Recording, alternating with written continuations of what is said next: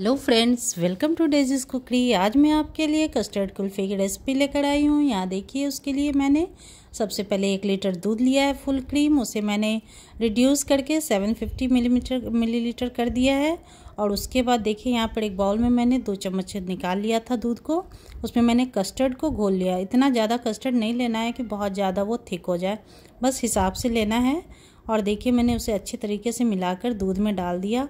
दूध में डालने से क्या होता है, वो खुद भी उसे थिकनेस देगा। दूध जब अच्छे से रिड्यूस हो जाए तो उसमें उसे डाल देना है।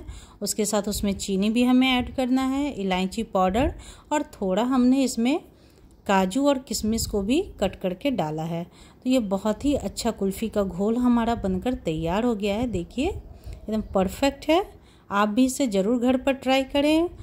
और मेरे चैनल डेजीज कुकरी को सबसे पहले सब्सक्राइब कर लें और मेरी ये रेसिपी कैसी लगी आपको, वो आप हमें ज़रूर कमेंट्स में बताएँ। ये देखिए, आप इसे मिक्सी में भी ब्लेंड कर सकते हैं। मैंने हैंड से ही कर दिया है अच्छे तरीके से, ताकि इसमें कुछ लम्स ना रह जाएँ कस्टर्ड के।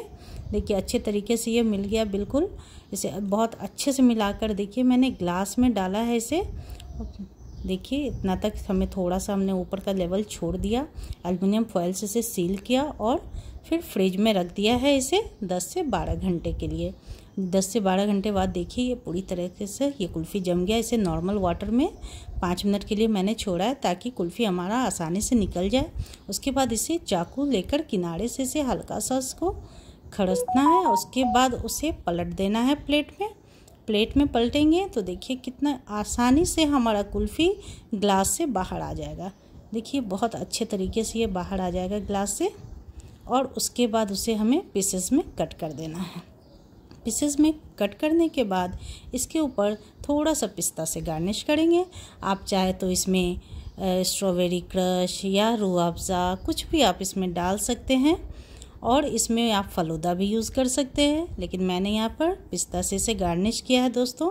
तो मेरी ये कस्टर्ड कुल्फ़ी की रेसिपी कैसी लगी, आप हमें कमेंट्स बॉक्स में ज़रूर बताएँ।